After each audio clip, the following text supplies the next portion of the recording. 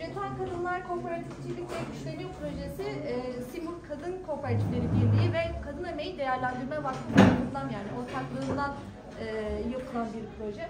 Bu projenin temel amacı e, öncelikle e, başlangıç toplantısında siz değerli e, kurum amirlerimizin, temsilcilerimizin aynı zamanda projede iştirakçı olarak yer alan e, temsilcilerimizi bilgilendirmek. Bu süreçte yapılacak işbirlikleri noktasında e, bir lansman yemeği düzenlenmekte aslında. Hepiniz hoş geldiniz. E, sizler Demeter Kooperatifi ve Liliana Kooperatifi işbirliği neticesinde şu an yapılmakta olacak e, olan projenin aynı zamanda iştirakçı birliklerisiniz aslında. E, bu süreçte projeden biraz sizlere bahsetmek istiyorum. Projemizin amacı özellikle yereldeki kadın kooperatiflerinin e, kamu kurumlarıyla e, ve sivil toplum kuruluşlarıyla e, gelip arkada kalan sivil toplum kuruluşlarıyla işbirliğini gerçekleştirmek. Hakkari yöre- yöresinde e, tarımsal, sanatsal, ticari faaliyetlerin e, ortak noktasını da aslında yüceltmiş oluyor. Özellikle e, mevzuat noktasında kadın kooperatifleri elbette e, yani bir noktada e, yerelde üretim yapan e, kitle demek. E, bu kitlenin e, evet üretim yapması çok güzel e, ama bunlarda e, özellikle kamu kurumlarının destekleyici nitelikte yer alması gerekiyor. Yani bugüne kadar el yordamıyla yapılmış e, çalışmalar var ama bunu sistematik şekilde dönüştürülmesi gerekiyor.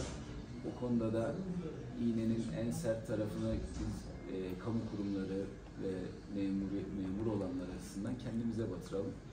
E, gerekli bilgilendirmelerin yeterince yapılamadığından bahsettin. Doğru söylüyorsun. E, ben en azından şunu söyleyebilirim. Şimdi ticaret il müdürümüz burada. Ee, Tarım il müdürümüze de söyleyeceğim. Her iki il müdürlük il müdürlüğünde de bu işle alakalı bir kişiyi muhakkak görevlendirelim. Ama DAKA'ya bir proje hazırlanması konusunda ben de e, DAKA temsilcisiyle, Hakkari'deki temsilcisiyle iletişime geçeceğim. E, SOGEP'in bu projelere destekleri oluyor. E, oradan destek çık- çıkılabilir. Bunu bir taahhüt gibi algılamayalım ama en azından bu konuda kafa yorarız bu saatten itibariyle.